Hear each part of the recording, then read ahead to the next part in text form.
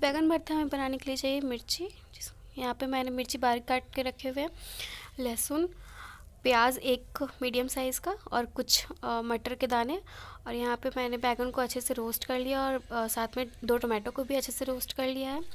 और बैगन का जो आ, जो स्किन है वो हमें निकाल लेना अच्छे से उसके लिए मैंने इसे ठंडे पानी में डाल दिया है। ठंडे पानी में आप कुछ देर दो मिनट लगभग छोड़ के ताकि वो जितना भी उसका गर्म जो उसमें भाप आती है वो निकल जाए और जो स्किन है वो इस तरीके से आपको निकाल लेना है।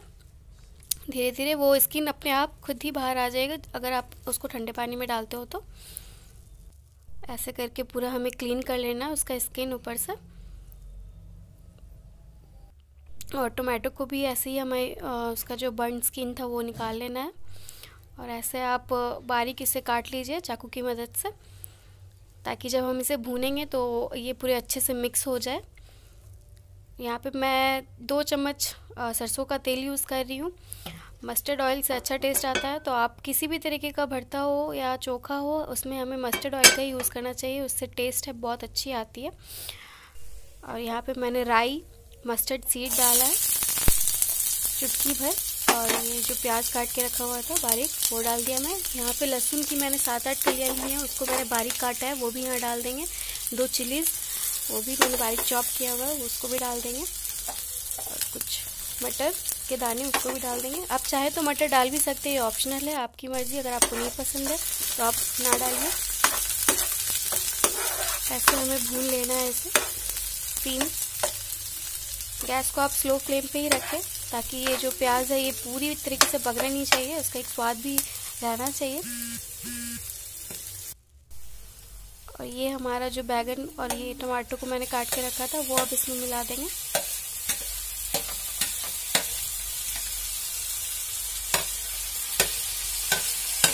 गैस को हमें स्लो फ्लेम में ही रखना है।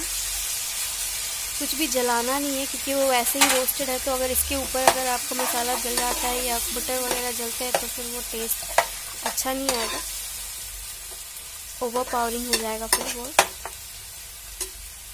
तो ऐसे ही हमें भूनना है, करीबन पाँच मिनट तक हमें इसे भूनना है, ताकि जो एक्स्ट्रा जो इसमें पानी है, बैंगन और टमाटर का, वो पूरा जो है, वो ड्राई हो जाए और इस तरीके से मिक्स हो जाए और वो पूरा मेल्ट हो जाए, पूरा अच्छे से मिक्स हो जाए। यहाँ पे मैंने हाफ़ टी स्पून नमक का लिया है। नमक स्वाद अनुसार आप टेस्ट करके नमक डालिएगा। कम ज़्यादा आप अपने हिसाब से देख लीजिए। मैंने यहाँ पे एक बैगन लिया, दो टमाटर लिया, उस हिसाब से मैंने हाफ़ टी स्पून नमक यूज़ किया है। अगर आप ज़्यादा ज़्यादा लोग हैं आपके फैमिली में तो आप उस हिसाब से नमक डालिए। और ये देखिए, ये बिल्कुल मिक्स हो गया अच्छे से। मिल चुका है बिल्कुल। अच्छा सा पेस्ट टाइप हो गया है बिल्कुल। और अब मैं इसे सर्व कर लूँगी और में।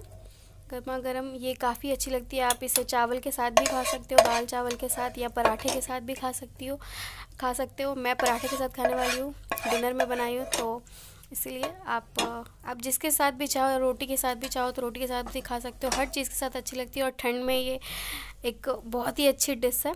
और इसके ऊपर से थोड़ा सा मस्टर्ड ऑयल डाल देंगे।